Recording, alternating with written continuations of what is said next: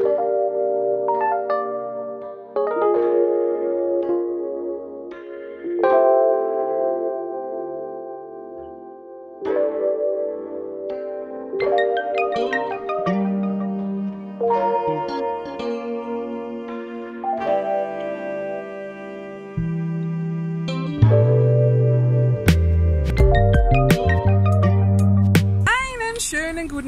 von uns hier von der Leipziger Buchmesse. Ich habe die liebe Becky dabei und wir freuen uns, nach vier Jahren endlich mal wieder hier zu sein. Und die Messe ist schon zu sehen. Wir haben auch schon Christine gerade im Auto getroffen. Ist lustig, die Hofer-Fraktion trifft sich auf der Messe, aber nicht in der eigenen Stadt. Und wir freuen uns. Ja, auf was freuen wir uns? Auf alles. Vor allem auf die gemeinsame Zeit und die vielen, vielen Menschen, die wir treffen werden. So, jetzt muss ich mal hier ein bisschen auf den Verkehr achten und jetzt folgen die ersten Eindrücke.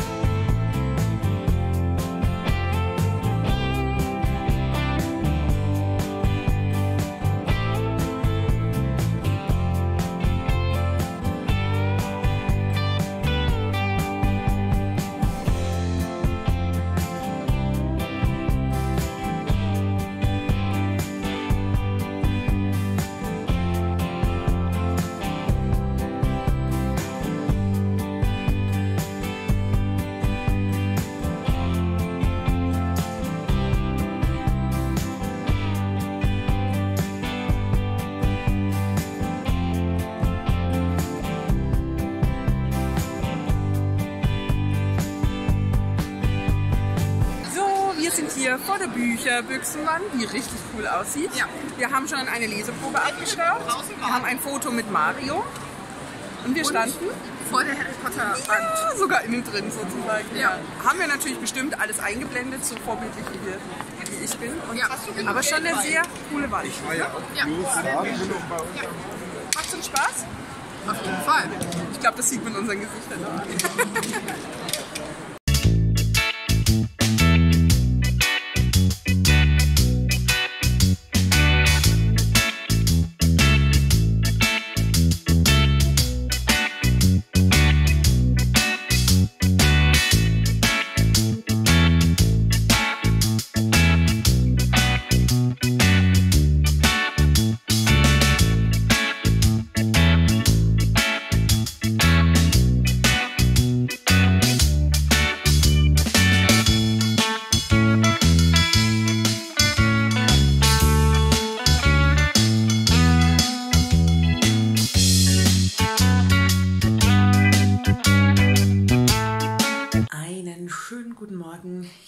aus äh, ja, meiner Ferienwohnung. Ich finde dieses Hintergrundbild oh, sieht einfach nur mega aus. Ja, es ist für mich jetzt sozusagen Tag 2 in Leipzig, allerdings ja der Tag ohne die Messe. Aber ich wollte euch natürlich heute noch kurz zeigen, was gestern so an Büchern bei mir eingezogen ist. Tatsächlich eins mehr, als ich vorhatte. Ich hatte nur geplant mir bei der Büchse mein Babel-Buch zu holen. Das hatte ich vorbestellt. Es gibt bei der Bücherbüchse ein Click und Collect. Das heißt, ich konnte äh, vorbestellen, ich konnte es schon online bezahlen und habe es dann einfach nur abgeholt und es hat einen wunder, wunderschönen äh, Buchschnitt. Richtig, richtig toll. Und es sieht auch von innen richtig, richtig toll aus. Also äh, wenn man dann sozusagen die Klappe abmacht, also die, äh, was das Hardcover sozusagen zum Hardcover macht. Also es ist hier wirklich Gold. Richtig, richtig schön. Also ich muss sagen, ja, Hut ab, richtig, richtig toll geworden. Es war auch wirklich sehr unkompliziert bei der Bücherbüchse und auch in der Innen. Äh, sozusagen, äh, also ja, ist ja keine Broschüre, aber im Hardcover ist was drin. Dann waren wir auch noch bei einem äh, Kinderbuchverlag. Äh, da habe ich mir, ach, da habe ich mich in ein, in ein äh, Wildschwein verliebt. Äh, mal gucken, ob wir da morgen noch mal hingehen. Und dann hat uns ein lieber Zuschauer, der Christian, an den Verlag geführt und zwar den Red Run Verlag, der eine Katze irgendwie auch hat. Und das ist schon eher ich sage mal, Hardcore-Thrill. Sehr viel Blut und irgendwie alle möglichen Säfte könnten spritzen. Ähm, war Zitat äh, von ähm, ja, dem Verlagsführer, würde ich sagen. Und ich habe mir mitgenommen Docs. Ja, eher untypisch für mich, äh, zu etwas so ja, blutigeren so ein bisschen ähm, zu greifen. Allerdings hatte er drei oder vier Bachmanns ähm, im, in, in Vertretung als Hardcover. Äh, da haben wir, uns, haben wir auch ein, ein Hardcover tatsächlich äh, zum Kauf sozusagen dazu bekommen und da hat sich äh, Becky, ich glaube, der Fluch ausgesucht. Und äh, ja, ich habe mir hier Docs äh, rausgenommen, weil es so ein bisschen, ja, weil hier die, die Tiere, also sie sind blind, sie sind krank und sie sind gefährlich.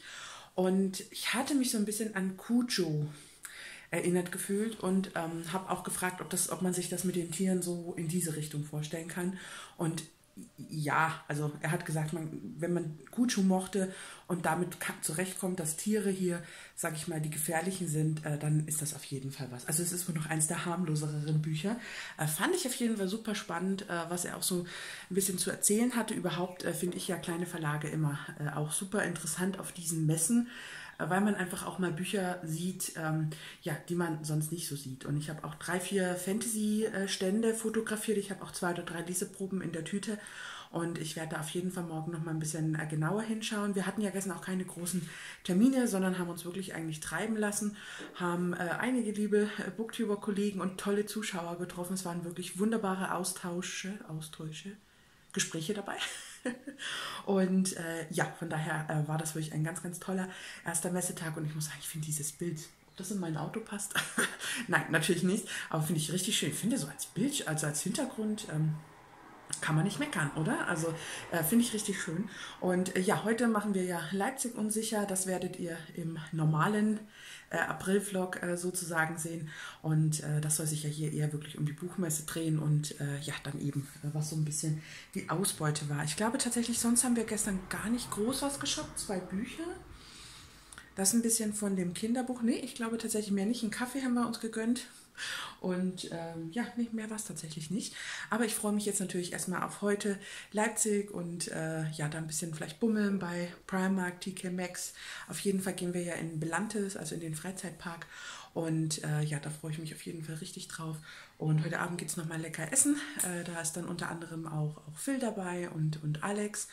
Und äh, Thorsten, oh Gott, wie konnte ich Thorsten vergessen? Nein, natürlich nicht. Ähm, ja, von daher, da freue ich mich wirklich drauf. Äh, gehen wir in den äh, Ratskeller und da werden wir auf jeden Fall auch ein bisschen mitfilmen.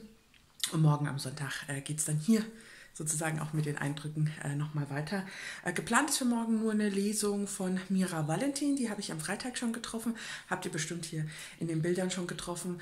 Ähm, ich liebe ja ihre äh, Fantasy-Bücher wahnsinnig und äh, bin da wirklich ein großer Fan. Ich höre auch gerade Druidendämmerung und äh, da wird sie aus dem neuen Buch lesen, wo auch noch vier andere Autoren, unter anderem auch Bernhard Hennen, äh, mitgeschrieben haben und da freue ich mich auf die Lesung. Ja, das ist so der einzige Plan für morgen, aber das werdet ihr jetzt alles nach und nach sehen.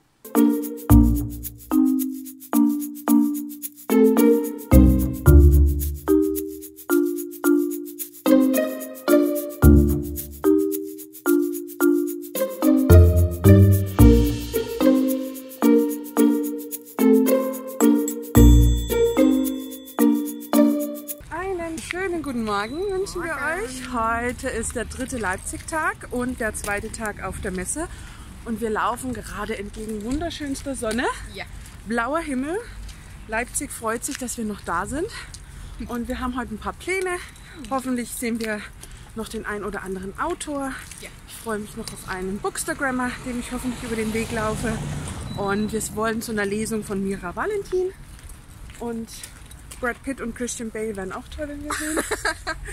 und ja, wir wünschen euch jetzt viel Spaß mit unserem zweiten Tag genau. hier auf der Buchmesse. Los geht's!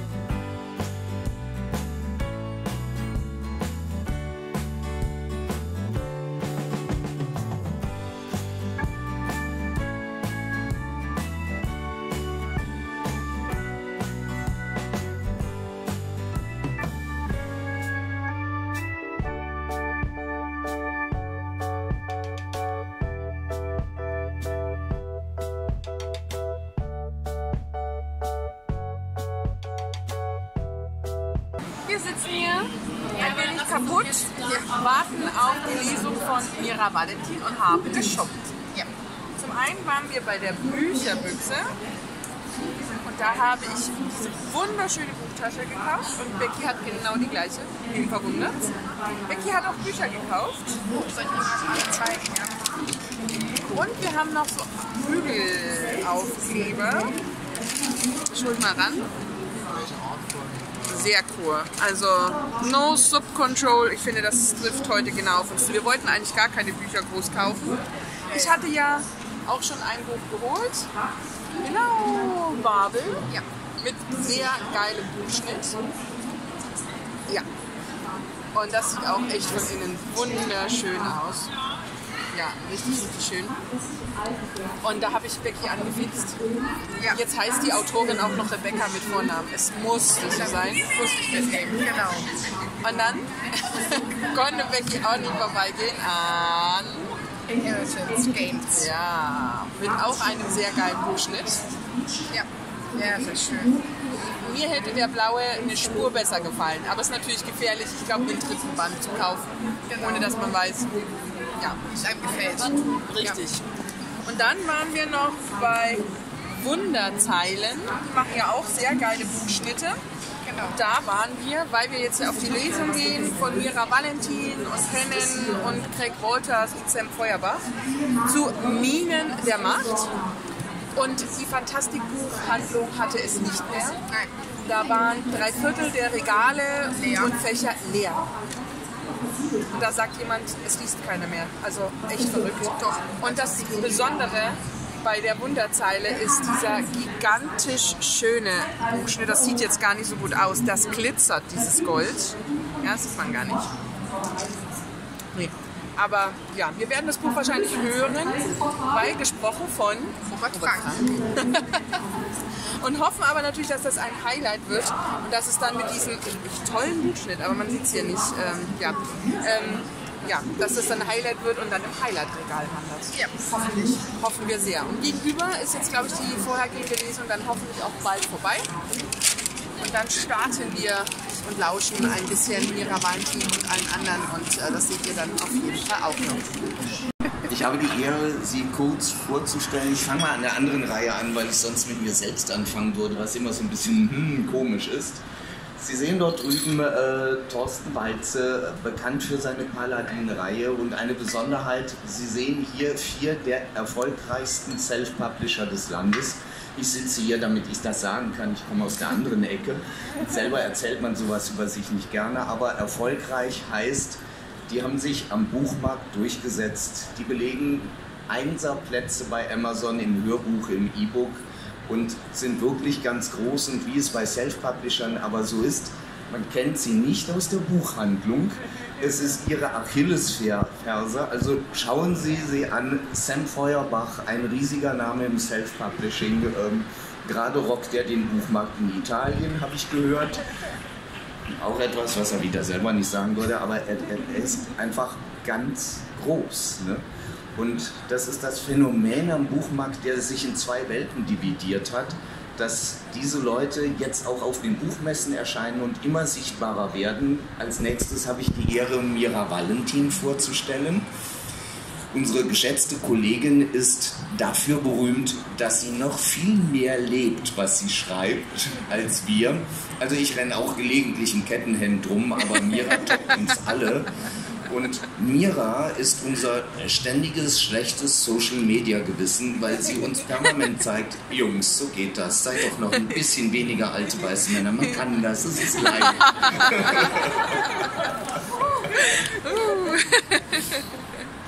Und als letzten in der Reihe stelle ich vor Greg Walters.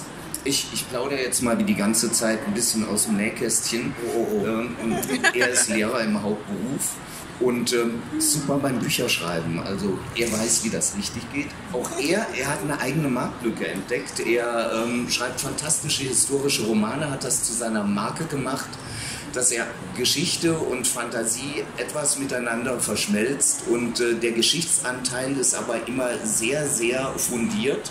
Gerade hat er eine Reihe über die französische Revolution begonnen mit seinen Gargoyles. Schauen Sie mal rein. Er bringt so den anderen Touch rein, weil Fantasy ist ja doch gerne mal so mehr Hochmittelalter-Setting. Wir anderen vier müssen jetzt alle brav nicken, wir tun das regelmäßig. er beschreitet neue Wege und auch das gehört zu den großartigen Facetten im Self-Publishing. Man muss da nicht irgendwie 32 Leute im Verlag überzeugen. Man ist selber überzeugt und tut es dann einfach.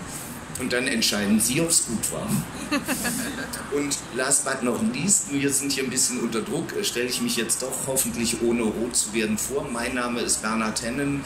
Ich bin seit ein paar Jahren berüchtigt für Elfenromane. Ich hoffe, ich habe hier niemanden zu sehr verärgert damit. Heute steigen wir in was ganz Neues ein. Wir haben das Risiko gewagt, zu fünft ein Buch zu schreiben. Minen der Macht ist der Reihentitel. Diese Woche Mittwoch ist äh, der erste Band der Trilogie erschienen und es sind Fantasy-Krimi-Thriller. Also wir haben dieses Krimi-Thriller-Element in den Vordergrund gestellt. Es gibt ein fantastisches Setting. Hm, ich habe eine schlechte Nachricht für Sie. Also wenn Sie Orks und Drachen brauchen, die sind bei uns bislang dünn gesät. Fantastisch wird es trotzdem und ähm, diejenigen unter Ihnen, die Morde mit dem besonderen Touch mögen, äh, wir werden äh, sie zufriedenstellen. Da bin ich sehr zuversichtlich.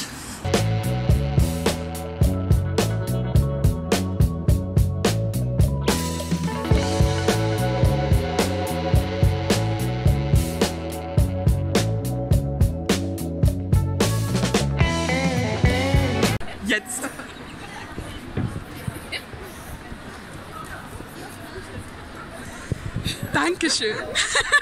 So, wir beide gehen jetzt die letzten Schritte hier im Presseabteilung sozusagen, Pressebereich, was auch immer. Wir sind fix und fertig. Wir haben aber noch Colin Hadler getroffen. Ist, glaube ich, auch so mein kleines Autoren-Highlight. Ja. Neben der Lesung und Mira Valentin. Muss ich echt sagen, super sympathischer Typ. Habe ich bestimmt ein bisschen was eingeblendet. Freue ich mich jetzt auf jeden Fall im Mai sein Buch zu lesen. Und wir verabschieden uns jetzt von einer tollen Messe, die Freitag und heute wirklich sehr viel Spaß gemacht hat, uns große Freude gemacht hat. Nicht nur die gemeinsame Zeit, sondern auch mit all mit den Menschen, die wir getroffen haben. Und ja, ich denke, das war's von uns. Wir müssen irgendwo wahrscheinlich mal nach links abbiegen und zu unserem Auto. Und wir sehen uns dann im nächsten Jahr, wenn es wieder heißt Leipziger Buchmesse. Eine wunderbare Buchmesse ging zu Ende und wie schon Guy de Maupassant sagte, es sind die Begegnungen mit Menschen, die das Leben lebenswert machen und ich kann ihm hier bei dieser Messe und den wunderbaren Momenten einfach nur zustimmen.